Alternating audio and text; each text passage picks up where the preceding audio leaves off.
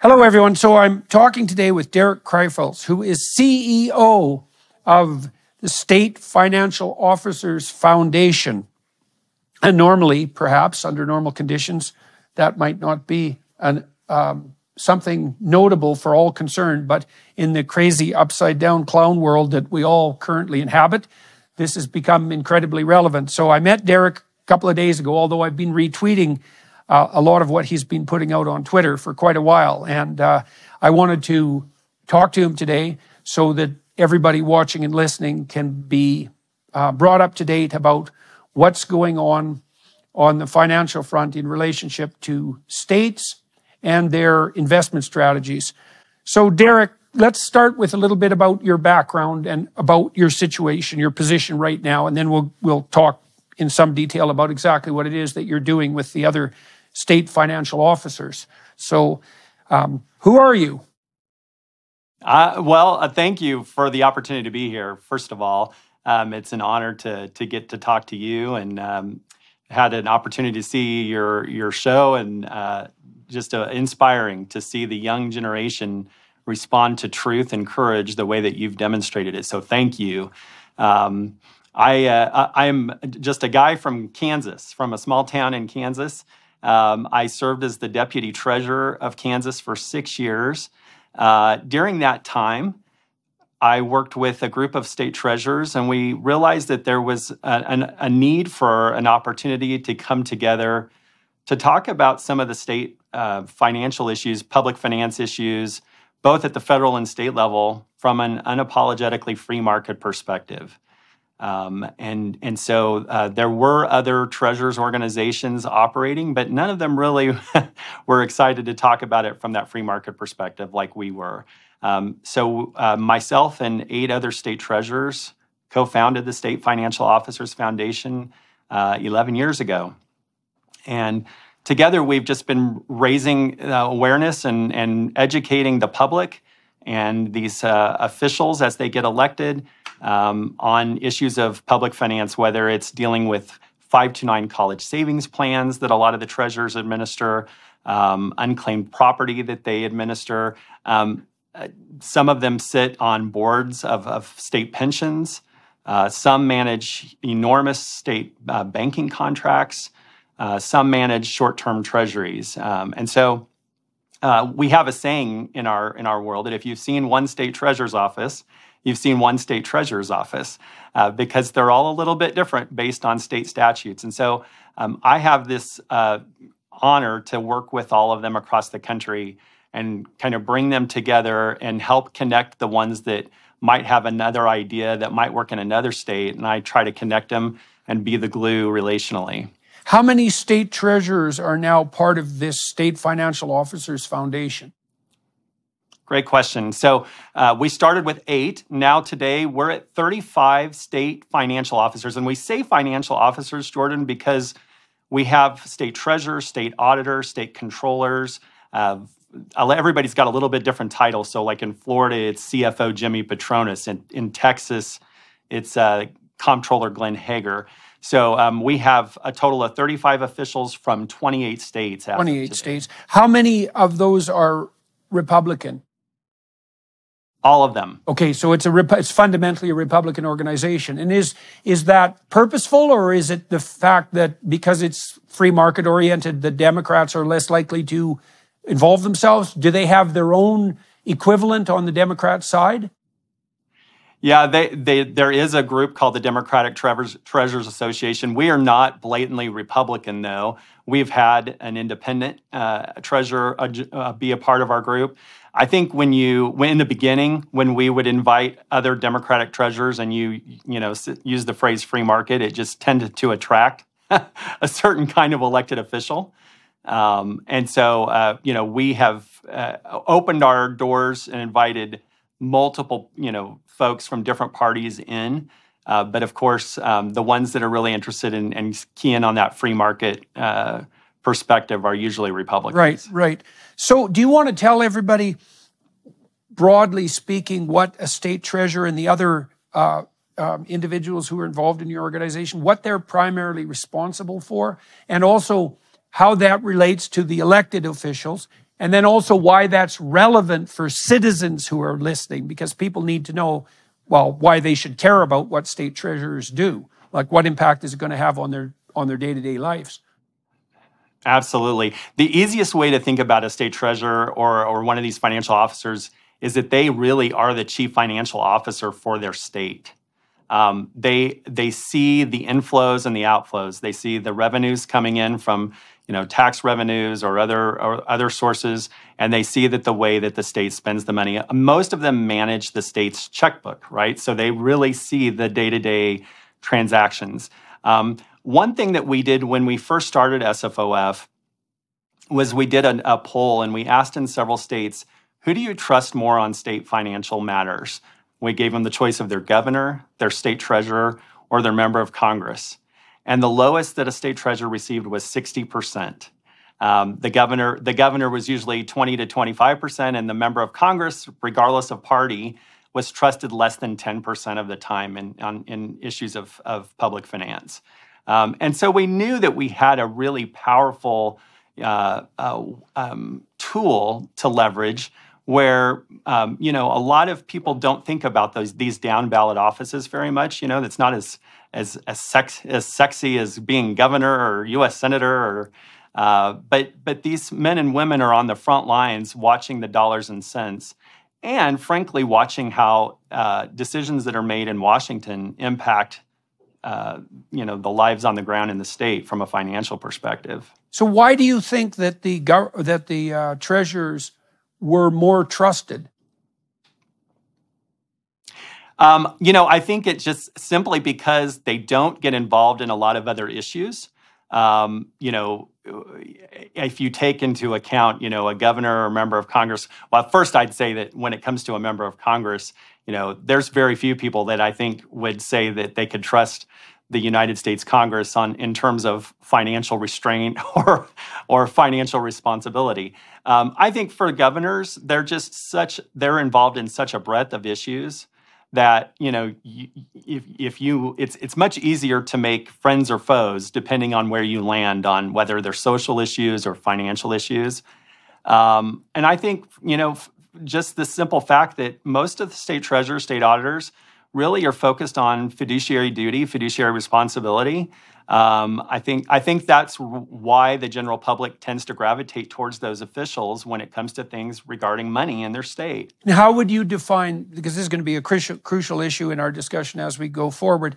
How would you define fiduciary responsibility? I'd say fiduciary responsibility is um, when someone is in a position of authority responsible for uh, some pool of money or or organization uh, of money that uh, they are they are required by by law many times, um, at, at, least in theory, to do what's best uh, in the best interest of that organization, uh, or in this example, for a state.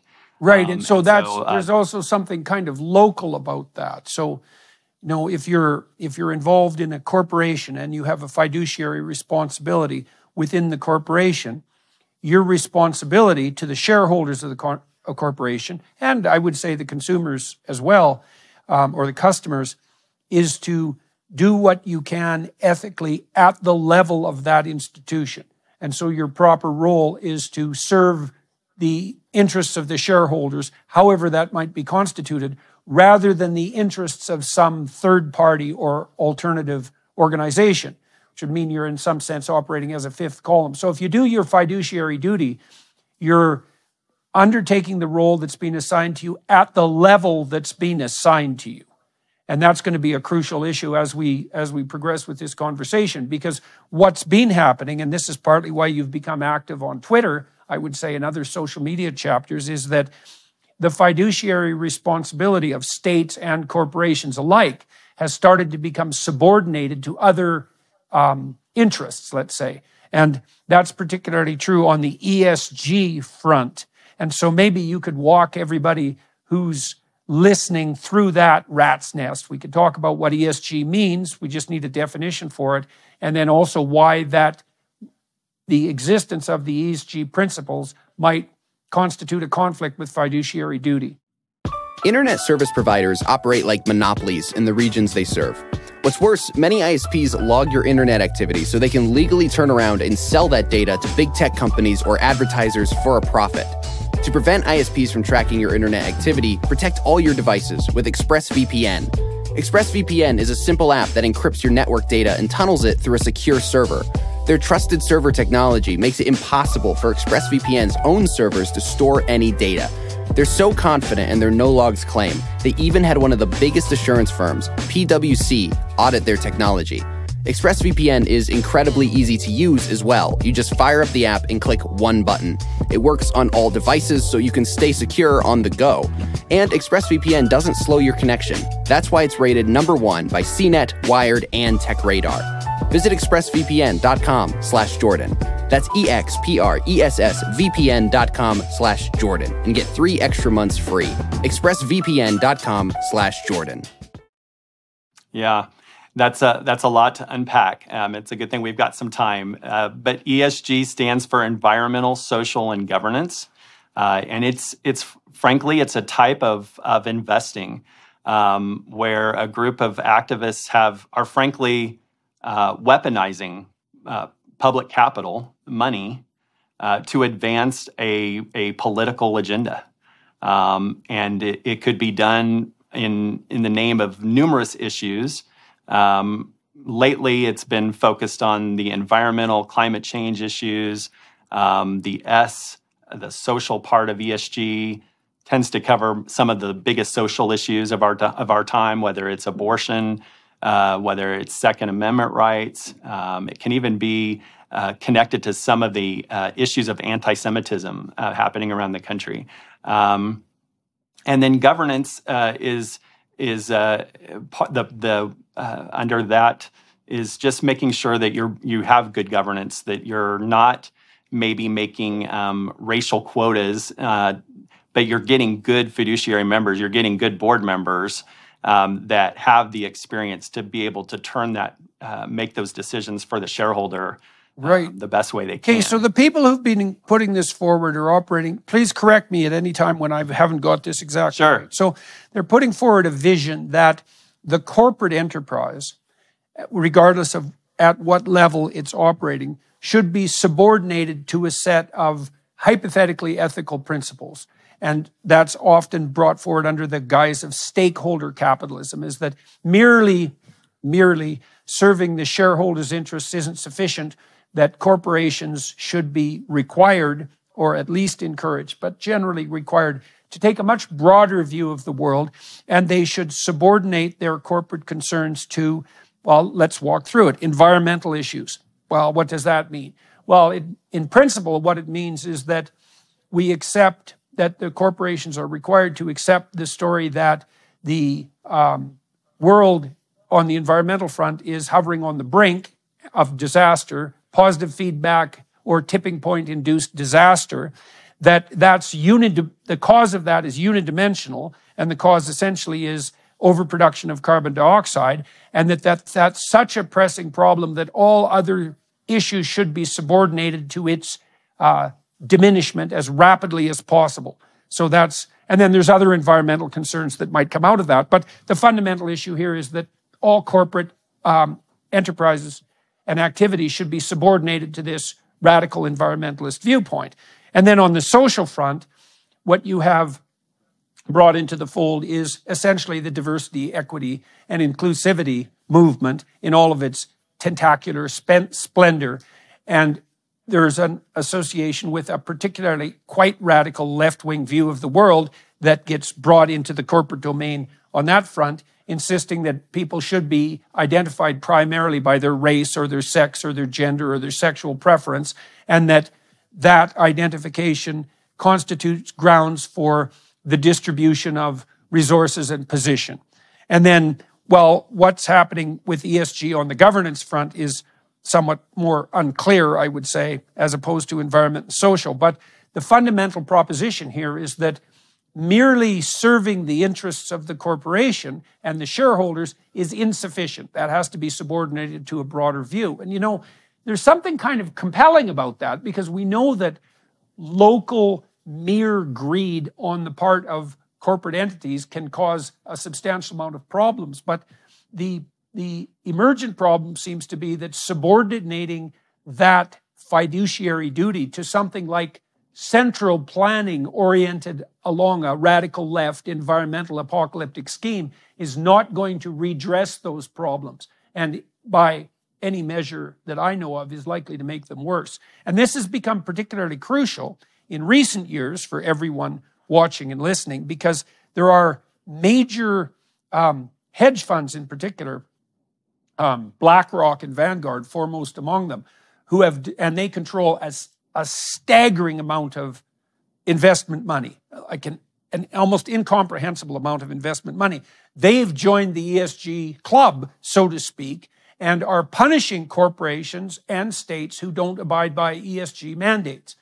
Is that now? That's right. Have I got any of that wrong?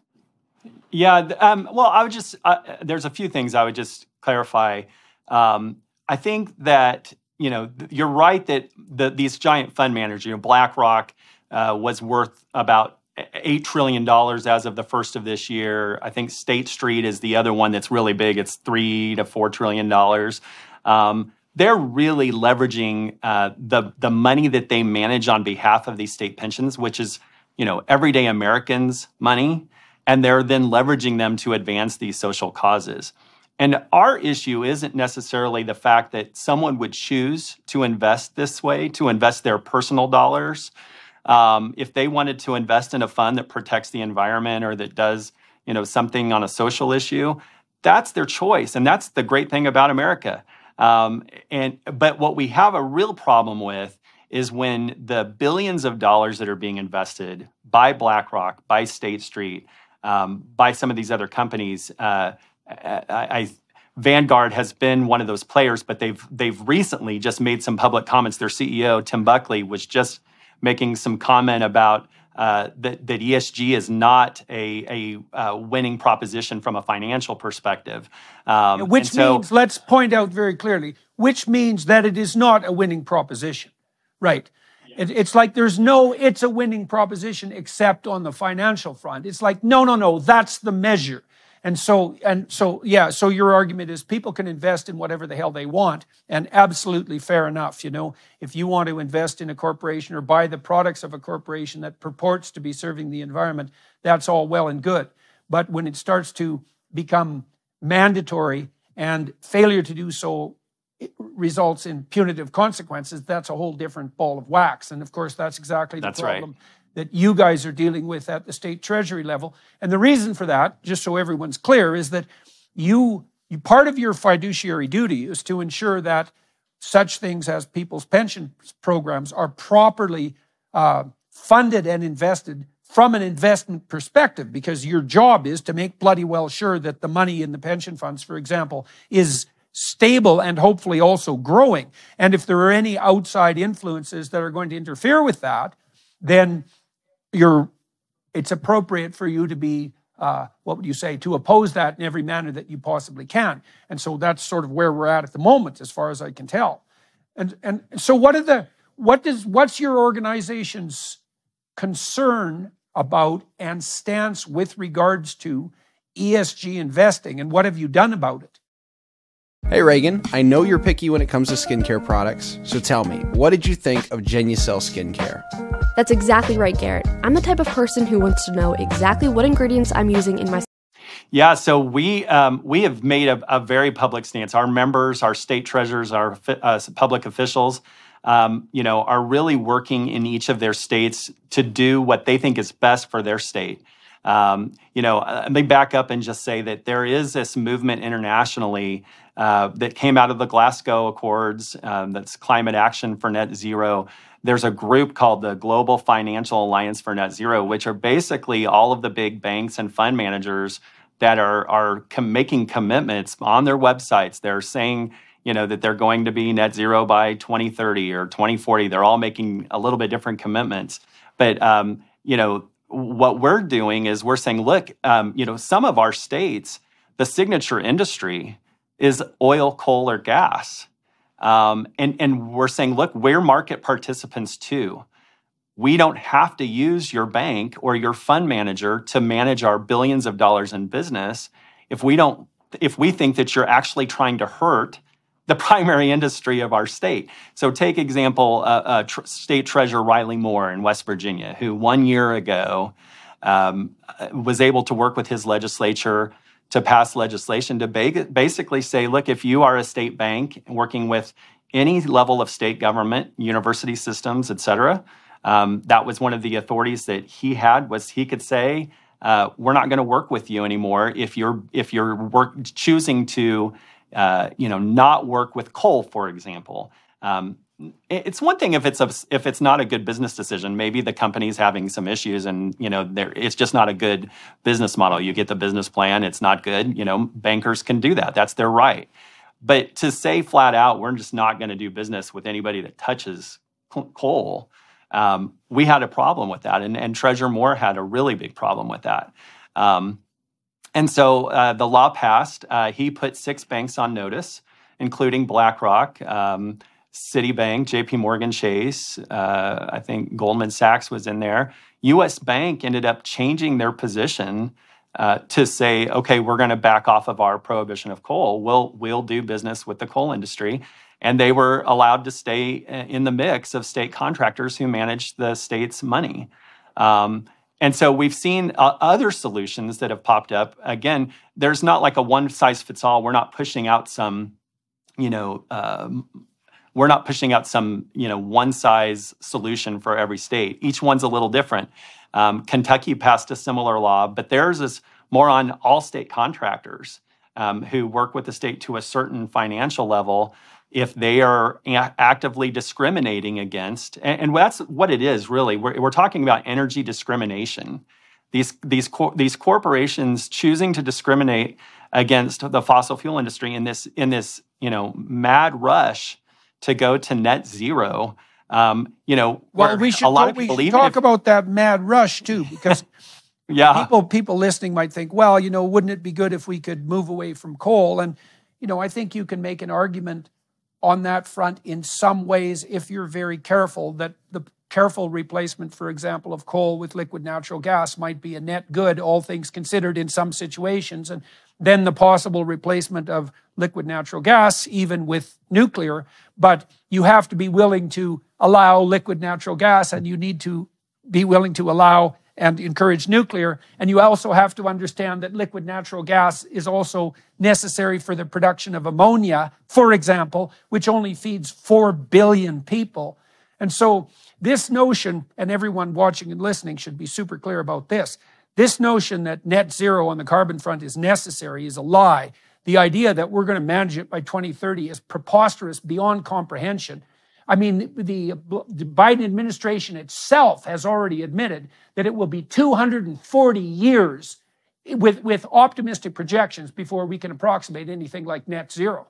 So all this is just a complete bloody lie. And you might say, well, you know, it's no worse a lie than many other lies than we've been told. And I suppose that might be true, except that what we're seeing in places like Germany, for example, is that as we move hypothetically towards these idiot pathological net zero sloganeering propositions, we get more unreliable power at a much higher cost, like four to five times as high, so that industry starts to move to places like China, which, by the way, don't have the best environmental regulations. And it's made Germany hyper reliant on Russia. And more to the point, even on the environmental front is there's no evidence whatsoever that what Germany has done while they've devastated their reliable sources of power has improved the environment one bit. In fact, quite the contrary. The world used more coal last year than it ever has in the entire history of the planet. And that's partly because partly because countries like Germany have been re- forced to rely on coal as a backup for their idiot renewable projects because they're too unreliable and they've shut down their nuclear plants. So anybody who's listening who thinks, well, you know, maybe the environmentalists are going too far, but coal should be off the table. It's like you simply don't know what the hell you're talking about. It's also the case that for many people around the world, especially in developing nations, coal is a hell of a lot better and a lot less polluting than wood. And the, the option isn't coal or nothing, or coal or liquid natural gas or nuclear. In many developing countries, the option is coal or or wood or dung, which is, you know, one of your the world's lower quality uh, sources of energy, let's say.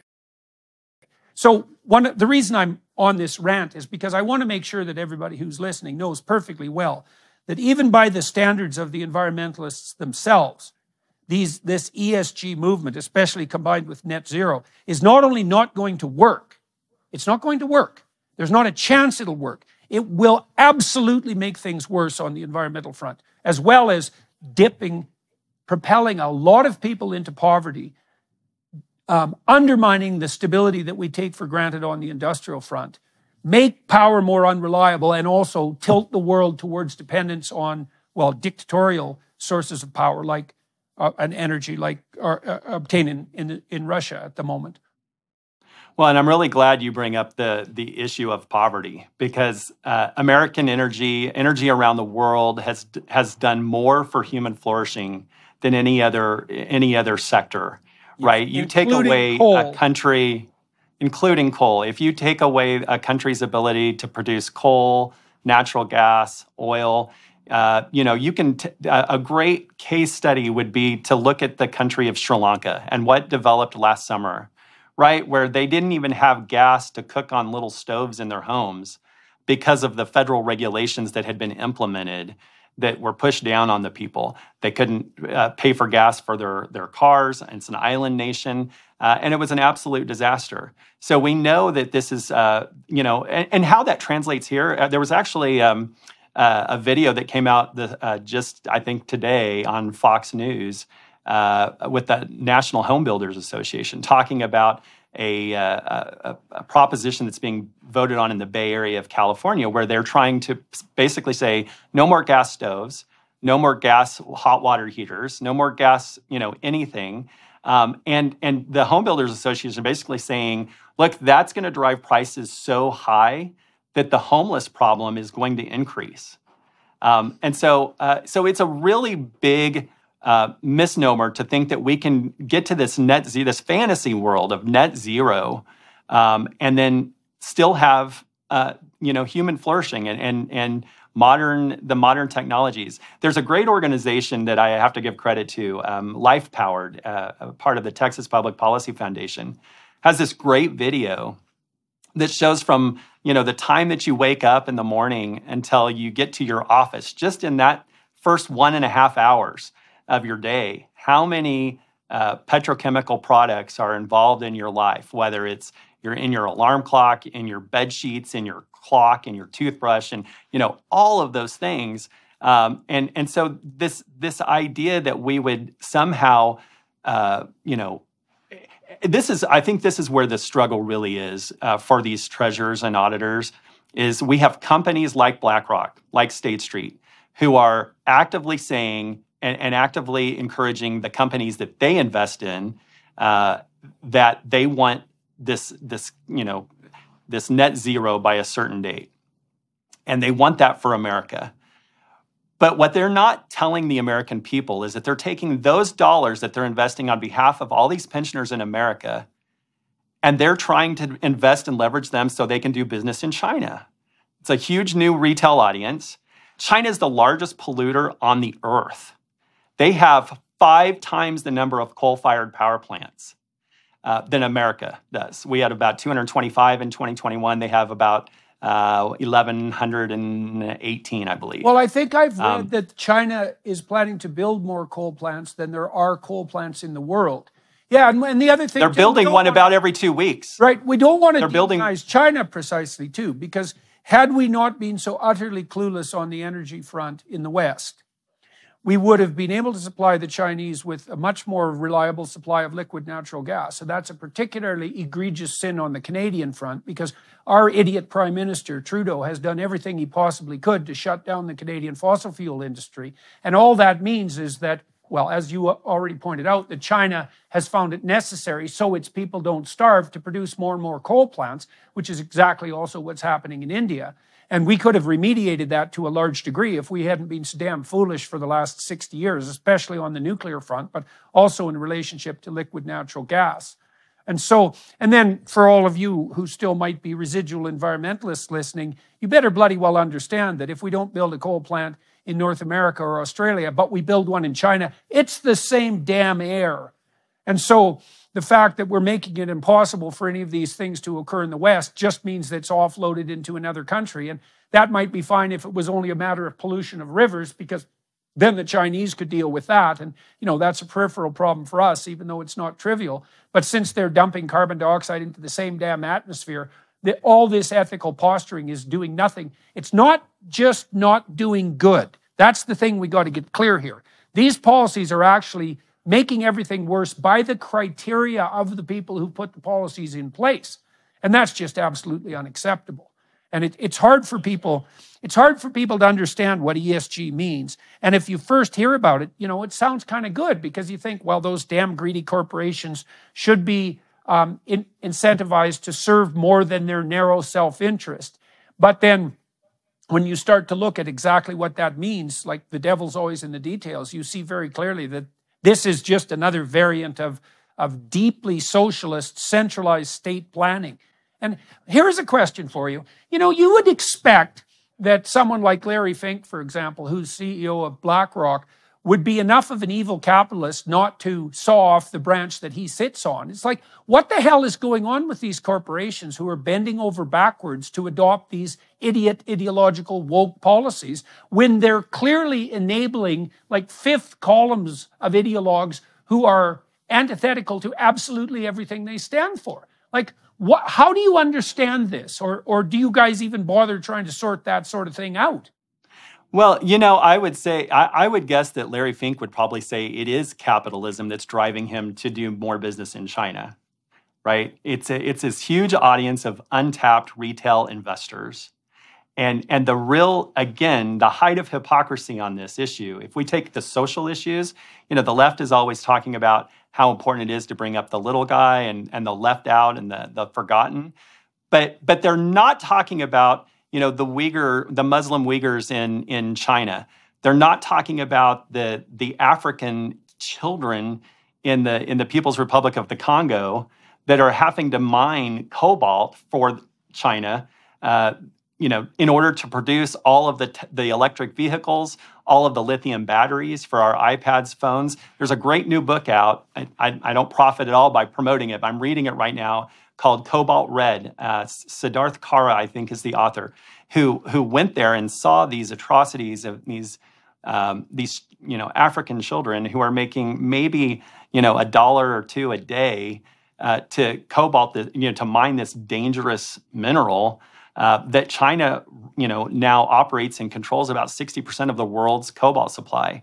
Um, China has been much smarter about uh, owning and buying rich minerals than the United States has, and it's putting us at a huge disadvantage. And that's that's the other thing that I think a lot of our men and women are concerned about is just the position that ESG investing puts us in compared to countries like China. Right. Um, well, I don't have as much of a problem with BlackRock dealing with the Chinese because I think the issue of how to include the Chinese in a broad free market economy is one that still requires a tremendous amount of debate.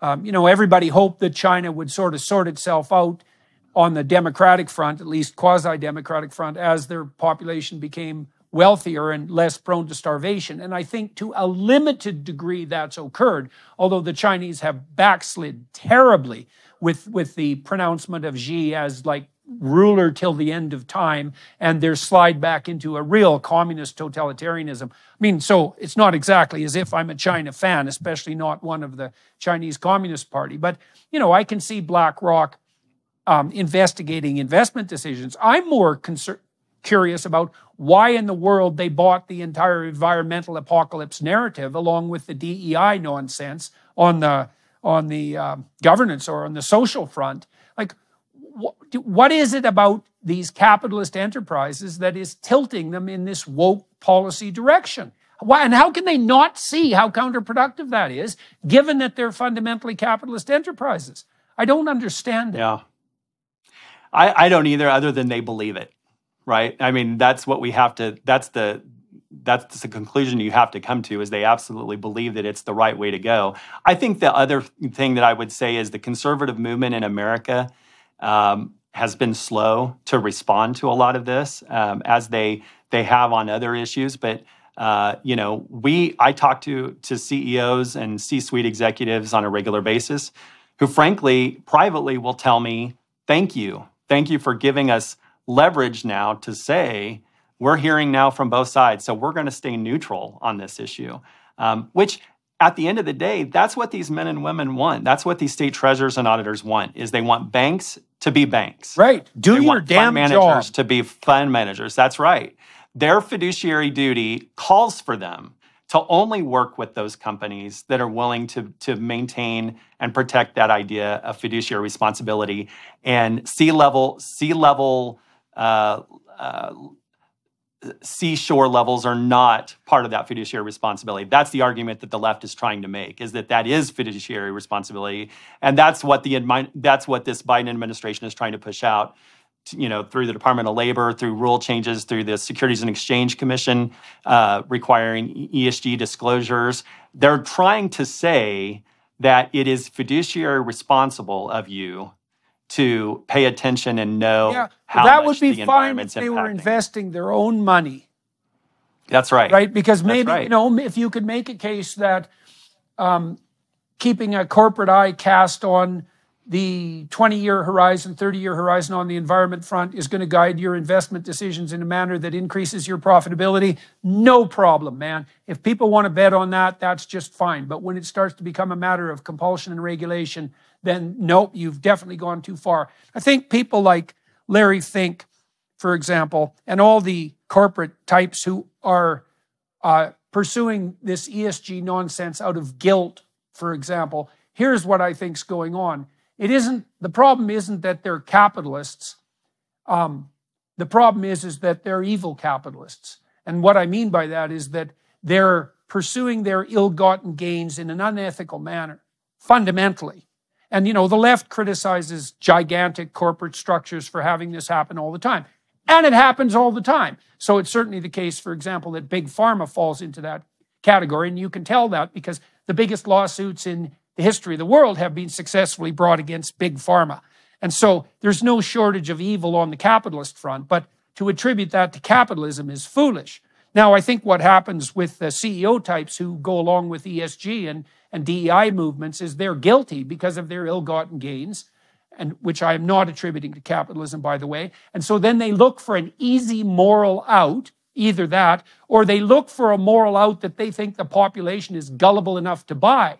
And so they f- banner wave and flag wave about net zero and about the fact that we're going to adopt our corporate responsibility on the environmental front. And they do that because it's easier than actually atoning for their greedy sins, let's say, or they do that because they think it's a good way of pulling the wool over the public's eyes, or some, you know, appallingly malevolent combination of both. Because otherwise, I don't understand it. Like, you have to be daft if you're a CEO not to notice that the DEI squad, diversity, ex, uh, um, um, equity, and inclusivity, and the ESG squad put, forward an ideology that is absolutely antithetical to the principles upon which your company are based. So then you say, well, why the hell would you do that? And one excuse is ignorance. You just don't know better. But this unatoned for guilt is another good explanation. And the lefties like Russell Brand and Joe Rogan to some degree have been pretty good at pointing this out. Said, yeah, well, you guys have bent the system in your favor for a long time, and now you're guilty about it. And so you're going to you're going to comply in this daft manner with these idiot ideologies to everyone's discredit, including yourself. And that's not going to atone for your sins, and it's going to make everything a hell of a lot worse. Yeah, and I would say too uh, that a lot of the the students graduating from universities today, unfortunately, are you know pretty left of center. Um, and so the really loud ones go to work for these big publicly traded companies, and that's how this whole idea of stakeholder capitalism comes in. Is suddenly your employee is a stakeholder, even if they're not a shareholder. Um, that they have some say and i think that that's part of why they get caught up in these decisions as well is they're listening to this younger generation who may have this you know idealistic thought of, of change or of and and it may be a really small very loud minority It is that definitely uh, that. screaming that Yeah, well, I've Uh, seen but that. they're listening I've seen that in my own dealings with corporations. So, for example, in Canada, I published with Penguin Random House, and there was a bit of a rebellion among the younger people at Penguin Random House when they decided to publish my my next popular book. Right, I have a two volume series. Now, the first book, which was Twelve Rules for Life, was one of the most profitable books that Penguin Random House in Canada ever published by a huge margin, and so. I was responsible for a substantial fraction of PRH's um, revenue over the last six years. And yet, when my second book was announced, before anyone had read it, there was a rebellion among the younger people. And then Penguin Random House had a town hall where a number of them cried about, and I mean literally cried about what a terrible monster I was, despite the fact they hadn't read the damn book. And instead of firing all those people, which is exactly 100% what should have instantly happened, since they lined themselves up to identify themselves as people who should be fired, because they wanted to implement censorship on a book they hadn't read in a publishing house. All that happened was that PRH hand waved about how upset their new people were and tried to, um, what would you say, listen compassionately to their concerns and move forward. And, you know, um, they didn't end up canceling my book, which, you know, I don't regard precisely as a favor, but the same thing happened also at uh, PRH in, in New York. And so, but but again, I see no excuse for it. It's like, why, why the hell would you go along with the radicals? You're you're so uncertain about your own moral principles, even as a publisher, that you won't fire people within your organization who are outright calling for censorship. Yeah, stunning. Well, and and I would just add too, one of the things that we've realized over the year, the last year and a half, as we've pushed back is uh, you know the three companies that we like to mention a lot the you know BlackRock, State Street, Vanguard. If you look at the the ownership that they have in the top 500 publicly traded companies in America, together they own anywhere from 18 to 20 percent on average of of every one of those publicly traded companies, and so they leverage this tremendous amount of authority. Um, we have, you know, in when we have publicly traded companies, we have this whole thing that's getting ready to start. The you know, proxy, the shareholder voting season is this spring, right? And that's what we've seen them do is to start to direct behavior of companies that they're going to invest in. If, you, if, if I'm BlackRock and I'm going to invest in your company, you're going to make sure that you uh, don't invest in coal, that you don't invest in dirty agriculture, you don't invest in, you know, and they've got this checklist um, that all in the name of ESG.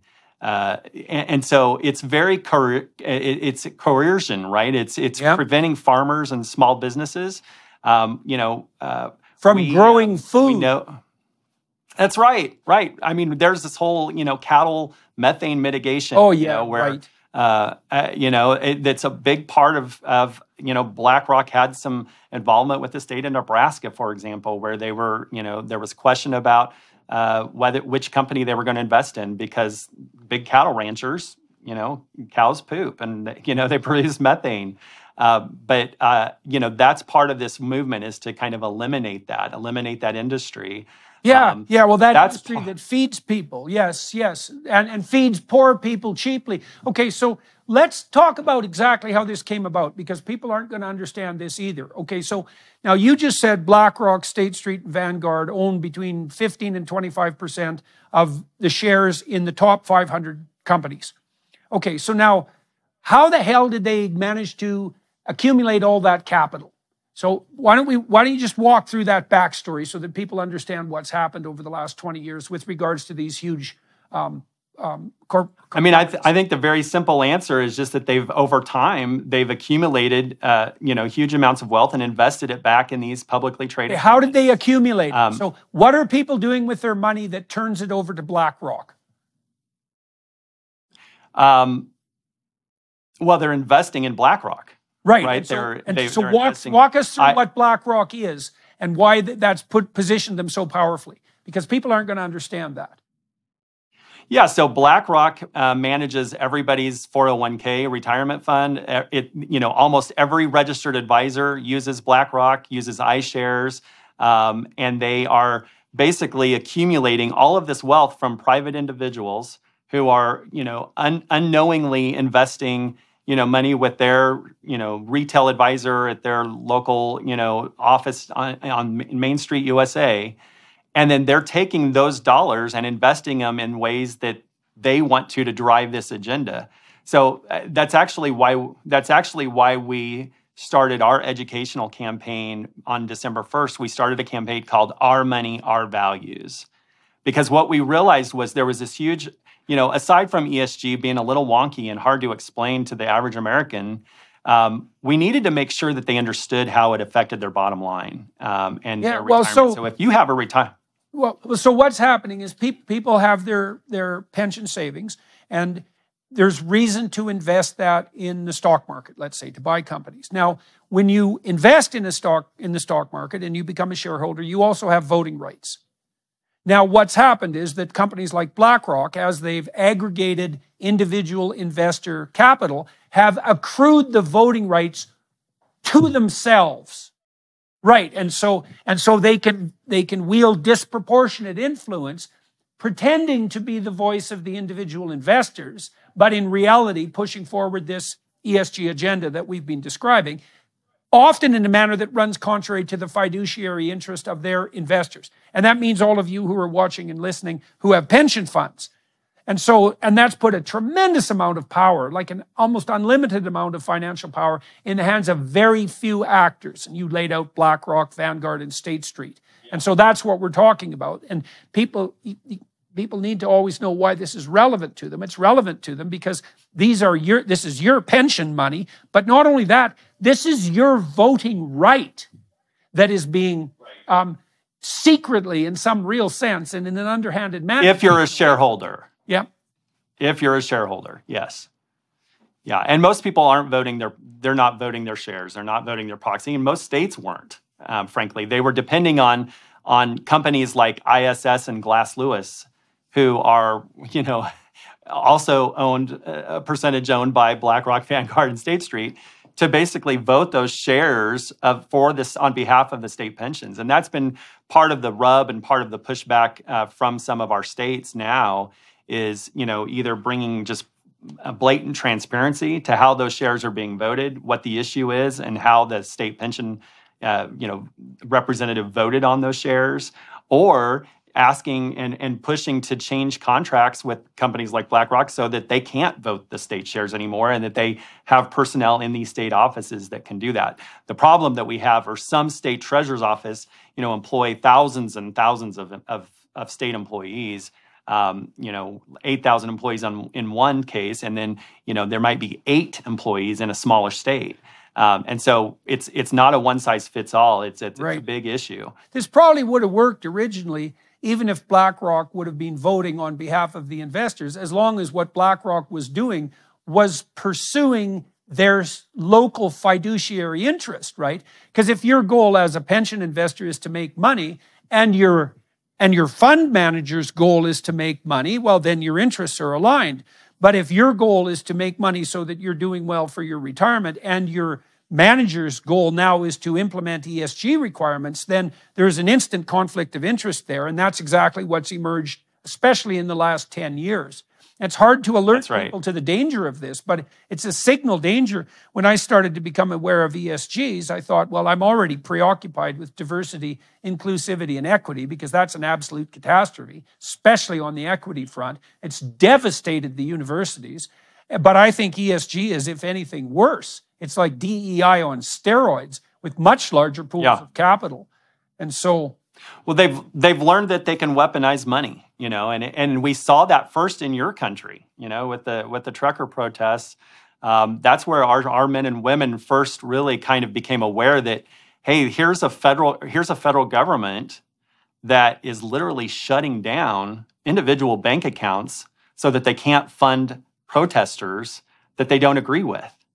I mean, it, it really it was absolutely shocking to see that happen. And then we've seen that here now in the United States, where there are certain banks who are deplatforming, debanking companies if they don't like what you're selling.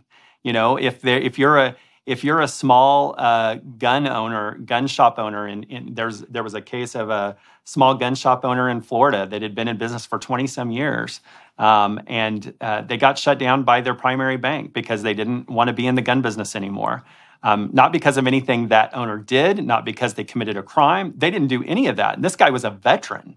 Um, and so, you know, it's it's absolutely ridiculous. You know, former uh, U.S. Ambassador uh, for Religious Freedom, Sam Brownback, um, started an organization, a non-for-profit organization for religious freedom. Um, the organization was was told that they couldn't have a bank at the bank that they wanted to bank at because uh, they didn't like what they were doing. So, um, so this idea of weaponizing capital it's very dangerous, and it is a it's probably the largest issue that our country is going to face over the next couple of years because now that we've seen how one side can do it you know it's going to be really easy for federal bureaucracies for congress depending on who's in control to start leveraging you know public capital to force a political yeah, agenda. Well, and that'll be and spent along by the development of anything approximating a centralized digital currency. So, so yeah, yeah, you know, Canadians have absolutely no idea what the Trudeau government lockdown of bank accounts did to Canada's international reputation or what sort of precedent it served. You know, I regard that as an act of outright treachery. I couldn't believe that our government could do something that utterly appalling. And I also still can't believe that about 50% of Canadians feel that it was justified. They have no idea what that means. They have no idea that we now have a precedent in Canada such that if you have a political opinion that's unpopular, no, worse, if you support someone indirectly who has a political opinion that runs contrary to that of the government, that you can now lose access to the entire financial system. You know, and people think, well, if you didn't do anything wrong, you wouldn't have anything to worry about. And the right rejoinder to that is, you've never done anything wrong in your whole life, eh? And you think that, that the government is so bloody uh, virtuous that they're only going to punish people who, you know, are the real wrongdoers. You're that naive. And Canadians have no idea, what, like I said, they have no idea whatsoever how shocking it was across the world that our government actually dared to suspend the financial rights of, of people who were contributing to the, tr- uh, trucker, the trucker convoy with no trial, right? By government fiat, top down, coercing the banks to do so. One of the banks actually apologized, which was quite the remarkable uh-huh. occurrence. Yeah, yeah. I think it was the it, Bank of Nova Scotia apologized for doing it. But yeah, thanks, guys. You shouldn't have done it to begin with. Yeah. But, but yeah. So. Well, that that I think that action, you know, and and that awareness to our men and women that are in these offices, um, you know, became we became very acutely aware and hypersensitive, and so we started reading. Uh, there was a, a, proposal that the United States Treasury Department put out it, did ha- it didn't even have a chance to become a, an official bill in Congress. But the idea was that we're going to start monitoring every American's bank accounts, whether it's a bank account, credit union, for $600 transactions, inflow or outflow, right? So if you take a deposit of $600 or more, boom, that bank is required to report that to the IRS. If you get, uh, if you if you write a check for a refrigerator that's more than six or a gas stove, um, or a gas stove. Yes. Um, and so we a, a, lot of our a lot of our men and women really went to the front line. Uh, Tre- Nebraska Treasurer John Murante really led the charge on that and said, "Look, you know, we cannot allow that to go unnoticed. You know, we've got to raise awareness." So we we did a very strategic move um, with the bankers, the American Bankers Association, and the credit unions of, of America um, to get the word out to every blogger, every newspaper, every radio show, every TV in, in the states that we were in to raise awareness. And, and really, the wonderful thing about that, that experience, Jordan, was that the average American, whether they were Democrat or Republican, they all hated the idea of having the IRS monitoring every every transaction in their bank account of six hundred dollars or more. We got phone calls from people that said, I, I, you know, I don't want the government or the IRS to know how much medicinal marijuana I buy on a monthly basis. We had Republicans call, calling and saying, I don't want the government to know how much ammunition I buy on a regular basis. Um, and, you know, I don't was, want the government to know great. what I buy, period. So I keep your God That's right. now out of my business.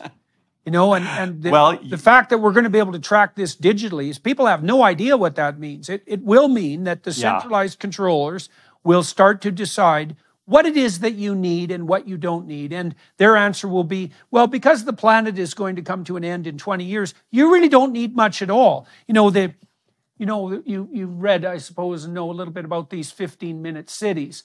And the, the right wing conspiratorial trolls have got all, their panties in a knot about 15 minute cities. And the lefties, of course, uh, declaim that that's nothing but a conspiracy theory. But if you go to the C40 website, and C40 is the website that's put forward by the consortium of municipalities that are adopting the 15 minute city vision, they state very, very straightforwardly that their goals are the radical minimization of private car ownership by 2035, gas or electric, it doesn't matter because you goddamn peasants don't need vehicles, that people should be limited to one flight every three years on the vacation front because you damn peasants really don't need to go anywhere, and that caloric restriction is also on the cards. So, first of all, no meat for you, that's for sure, but you're probably eating more than you should anyways because after all, the planet's at stake.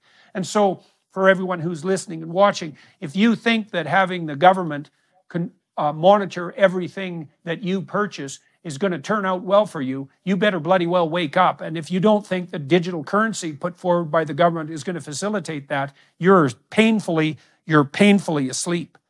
So, and what's going to be done about that? Like, what do you guys think on the digital currency front? Because it's pretty damn obvious that essentially we already have a digital currency. That's, that's what a credit card is. And at least what's happening with our credit card data is that mostly it's being used by greedy corporations to sell us stuff that we hypothetically want. And there's a fair bit of manipulation in that, but at least, you know, at least the ethos there is to increase consumer consumption. And you might not think that's the best possible use of data, but it's not the worst. Now, so the digital currency is already in place and and the data that it generates is basically controlled by corporate interests. If we put forward a digital currency that's centralized, the fundamental recipient of the data is going to be the government. And God only knows what they're going to do with that data. But this is definitely coming. So what do you, what is your organization, what are you guys suggesting on the digital currency front? Well, we're, we're, we don't have an answer yet. Um, that's an issue that we're tackling later this year um, and have not spent a whole lot of time on, so I can't really speak to it. I can tell you that that you know we are watching. Uh, there is a I, I forget the name of it. There's a European uh, agency that that makes recommendations on credit card coding uh, for transactions, and one of the things that we've watched recently uh, that a lot that has alarmed a lot of our treasurers uh, is that uh, you know to code when someone makes a purchase that's related to a gun or ammunition. Um, and so we've seen we've seen that that's a model, right, for potentially being able to track uh, someone's expenditures in that area. Um, now we work closely with some of the largest credit card companies in the world to help make sure that that that kind of tracking doesn't happen. Um, and we have great relationships with them and open lines of communication where we can be honest with one another when you know something is happening like that. Uh, but uh, we're we're not at that place yet where we've got a whole lot to say about the digital currency. Yeah, yeah. Well, it's a real conundrum because, well, because the digital currencies are definitely coming. You know, and, and this is one of the things that makes me interested in Bitcoin because Bitcoin is a digital currency and it literally is decentralized. That's actually true. And so, you know, if I had to choose between Bitcoin as a digital currency or any state issued digital currency, I'd take Bitcoin hands down instantly because at least it's distributed and that takes control over currency and its monitoring out of the hands of, you know, do gooder state in, or corporate institutions for that matter. Because I think at a certain level of gigantism, you know, corporations are just as, just as it's reasonable to distrust them just as much as you distrust overreaching government. And so, you know, that's one place where I think the the genuine left has it right, which is that once corporations reach the point where they can start to engage in regulatory capture, which is essentially what BlackRock is doing nonstop, they pose a threat to the integrity of society itself. Yeah. My assumption is is that we'll have, you know, uh, 50 states will have 50 different answers on how states should handle that uh, and handle digital currency. That's kind of where we're what we're seeing, you know, where there's already some exploratory committees, you know, that have been formed by state legislatures. Um, there's like I think there's one or two states that are already ex- receiving digital payments for uh, different state-related uh, payments that people make to the state government. Um, and I think there's been some issues with some of that. So I think there's a lot. Uh, government always falls, you know, is always a few steps behind the private sector in terms of advancing. So we're we're we're trying to catch up and get get more up to date on that. Yeah, well, but, it's hard to stay abreast you know, of the technological transformations. And so, so what are your right. what are your what are the ambitions and goals of your organization in the next six months to a year, and and maybe a little yeah. bit beyond that? Yeah, I think we continue to to make sure that that every American, you know, we the best anecdote to Wall Street is Main Street in, in America. Uh, you know, we we help Americans understand that you know this this absolute war on American energy has caused higher gas and diesel prices. You know, combined with the logistics issues that we had during the COVID pandemic, you know, uh, that is why we're experiencing inflation. That's why your eggs cost so much more. That's why gas at the pump costs much more. And your bottom line is that your paycheck isn't going near as far as it used to be two years ago. Um, you know, we're going to continue to, uh, our states, I, I think, are, st- are going to continue to watch companies like BlackRock. You know, in the last year, uh, our eight of our states divested almost 5 billion, a little over $5 billion from BlackRock um, in a move to, to you know, try to find other fund managers or banks that were willing to take their fiduciary responsibility seriously.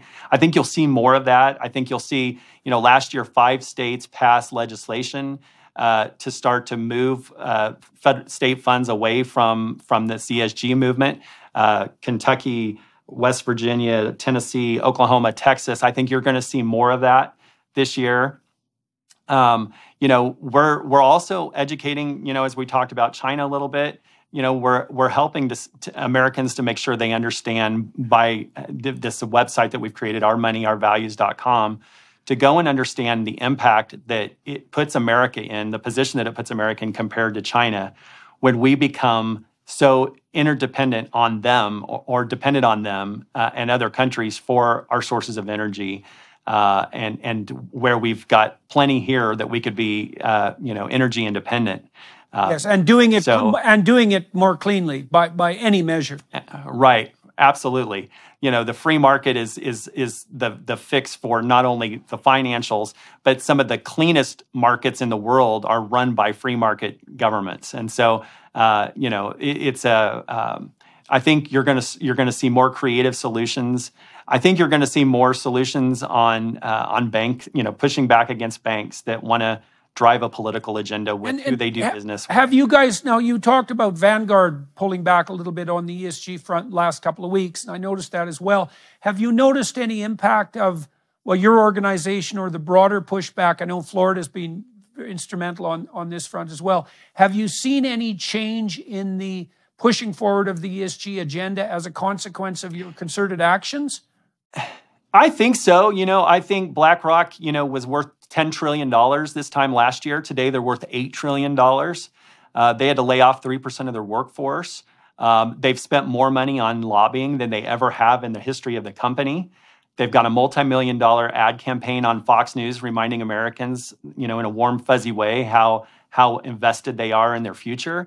Um, but but it, it's all a sham, right? It's all uh, smoke and mirrors to show that you know they are are really trying to save face um, as the truth is being exposed about again how they're weaponizing all these other people's money to advance their political agenda. It's like this new dark shadow government, you know, that's operating uh, that isn't part of our democratic system. Let's, I mean, that's face it. You know, these guys know they can't get it passed in the courts in America anymore. They know they can't get it passed in Congress. So this is the way they're going to try to get new policy ad- uh, advanced. Um, and we're just not going to sit by and let them do it. all all to, to atone falsely for their unearned privilege. Pretty bloody pathetic. Yeah. yeah. Yeah. Yeah. So, so have you have you guys looked into what Vivek Ramaswamy has been doing on the Strive front? Absolutely. Uh, you know, Vivek has actually been uh, a speaker at our meeting a couple times uh, in the last year. Uh, he is a friend, and we've talked, had numerous conversations. Um, and and Vivek is is the beauty of the free market, right? Where the free market can correct itself when things go bad.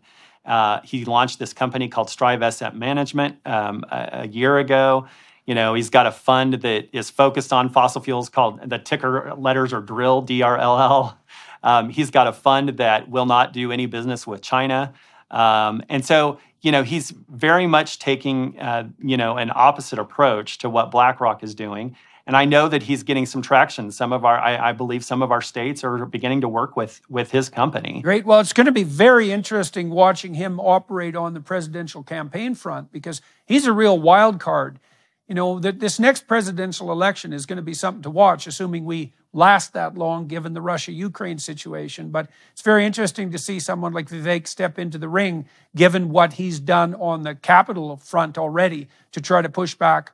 Not to push back against BlackRock exactly, but to provide a market based alternative that's that's grounded in fiduciary responsibility. It's a very interesting move on his part. I thought extremely daring, and so um, it's interesting to know that he's on your well on on the radar of your of your uh, of your organization. Yeah. What do you think? And there's other. Oh, sorry, please go ahead. I was just going to say there, there there are other companies aside from Strive, like uh, Second Vote Asset Managers. There's other companies out there that are springing up that are becoming um, a legitimate alternative to some of these big fund managers, um, which is great to see.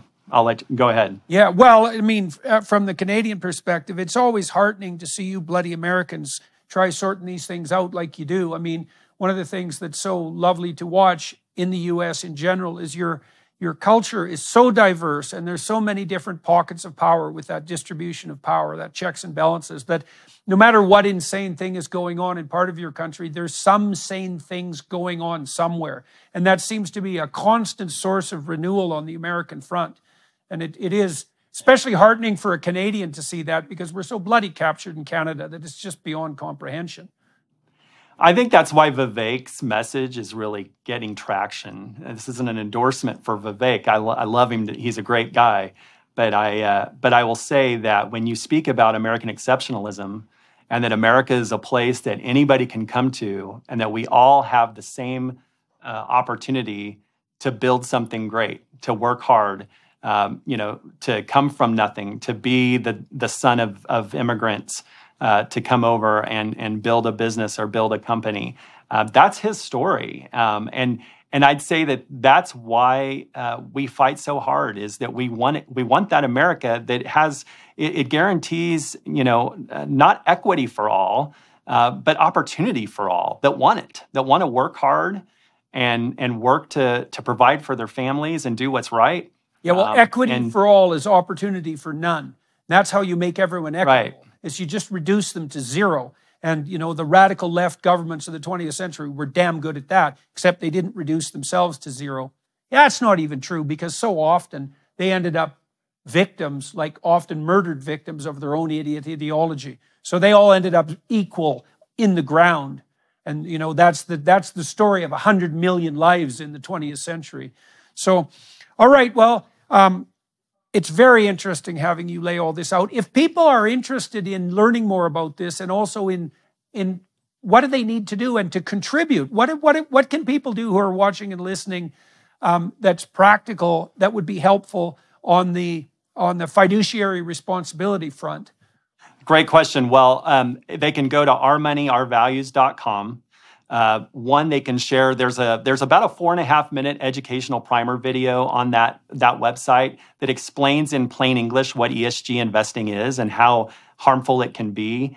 Um, there's also a, six, a 60 second version of that that we're trying to get out in digital media. Uh, since December 1st, we've reached 32 million Americans um, and and had you know several million views on our video, and that's where we're trying to to get support, financial support, to go towards that, so that we can continue to educate all Americans on the danger of this.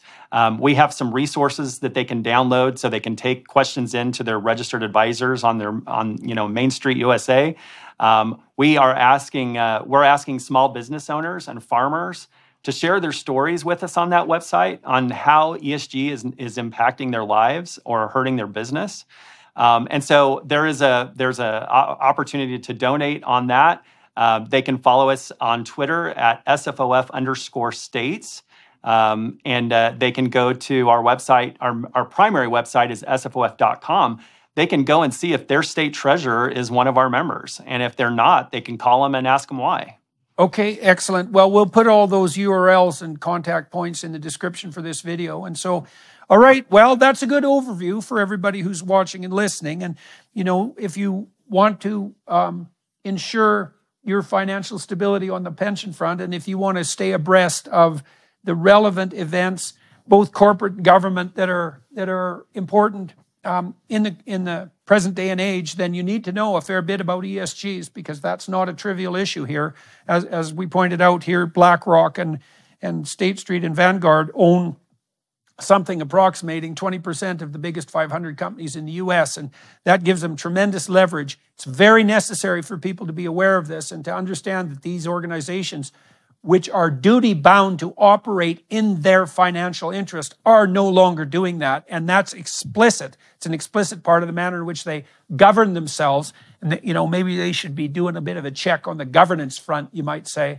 And of all the organizations that I've seen that are doing what they can to uh, bring people's attention to this problem and to do something about it, your organization is certainly in the top one or two. And so, um, you know that's been very interesting to me to watch that unfold and i'd certainly like to wish you well in your in your continuing endeavors. We can stay in touch and i'll do what i can to help bring i'd like that. public attention to what you're doing. All right so for everyone watching and listening we're going to switch over to the daily wire plus platform for half an hour. That's pretty much standard practice with regards to my videos. Um, uh, we're going to continue our conversation a little bit more on the personal front because I'm curious about the development of your career and, and your political and philosophical interests. And so we'll delve into that in more detail, more autobiographical detail on the Daily Wire Plus platform. Thank you all for watching and listening. Please spread this around as much as you are inclined to. Um, and, uh, well, thank you to the film crew here in Calgary, Alberta. That's a pretty good place to be doing that, right? Home of the of the fossil fuel industry in Canada, that's for sure, uh, which has been devastated by our idiot prime minister, and who's planning to do a lot worse in the future. And so uh, it's a good place to be doing this interview. And and uh, thanks again for for your time and for your for your uh, for the information you've provided to everyone. And we'll definitely stay in touch in the future. I like that. Thank you so much, Dr. Peterson, for having me today. You bet. You bet. Hello, everyone. I would encourage you to continue listening to my conversation with my guest on dailywireplus.com.